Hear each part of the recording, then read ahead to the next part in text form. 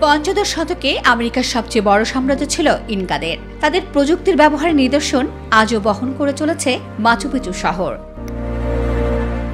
অথচ ইনকাদের সবচেয়ে বড় খামতি ছিল লিখতে না পারা। যে কারণে ইনকাদের সম্পর্কে বিশেষজ্ঞরা অনেক কিছুই জেনে উঠতে পারছিলেন না। তবে হার্ভার্ড বিশ্ববিদ্যালয়ের প্রথম বর্ষের ছাত্র ম্যানি মিড্রানো তার শিক্ষক গ্যারির সাহায্যে ইনকাদের এই রহস্যের সমাধান করে ফেলেছেন।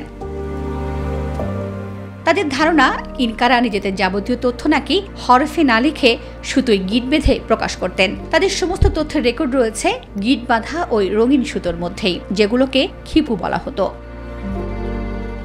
কি রঙের সুতো, কতগুলো গিট, দুটি গিটের মধ্যে দূরত্ব, এসব দেখেই তারা বুঝে যেতেন কি তথ্য রয়েছে তাতে। ইনকা সভ্যতা থেকে এরকম গিট বাঁধা দড়ি বা সুতোর খোঁজ আগেও পেয়েছেন বিশেষজ্ঞরা। কিন্তু এতদিন তার ভেতরে লুকিয়ে থাকা তথ্য বুঝে উঠতে পারেননি কেউ।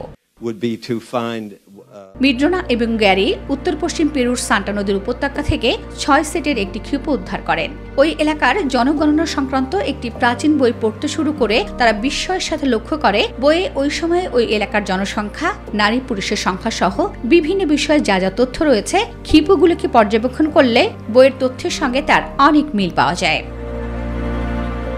ক্ষিপগুলোকে আরও ভালোভাবে পর্যবেক্ষণ করলে ইনকা সভ্যতা সম্পর্কে আরও অনেক অজানা তথ্যের সন্ধান মিলবে বলেই অনুমান বিশেষজ্ঞদের।